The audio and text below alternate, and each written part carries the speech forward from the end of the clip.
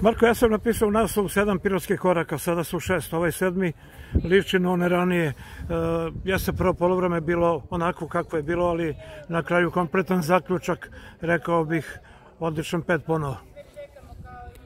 Da, dva različita polovremena.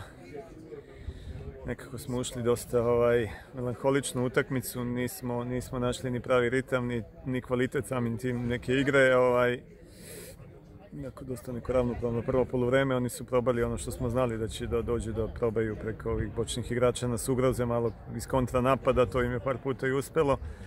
Ovaj, imali smo sreće da iz, tog, iz te igre takve kakva je bila imamo pozitivan rezultat na polovremenu, u drugom polovremenu bolje. Stanković nam je donao i stabilnost i neku ravnotežu malo i sami i kvalitet i ovaj, posle drugog gola sve je bilo neuporedivo lakše i još jedna ubedljiva pobjeda zaslužena. Čestitke igračima i za ovo danas i za ono što pružaju u kontinuitetu. Nije lako uvek držati dobar ritam, igrati kvalitetno, dobijati, raditi sve te stvari, ali eto, ovaj, mi smo uspeli da, da, da nas uh,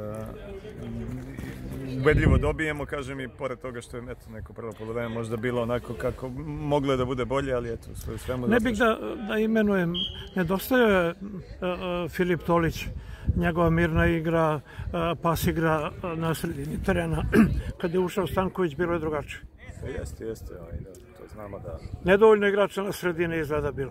Pa nešto je bilo nedovoljno, nego što smo neke stvari radili onako kako nismo trebali u prvom polovremenu pričam, ali ovaj, eto kažem, dobili smo stabilnost sa Stankovićem, dobili smo kvalitet i ovaj, Filip naravno da je ostavio sreće, da samo kartoni pa će već u nedelju biti tu, tako da nadamo se pozitivno, nastavku pozitivne serije.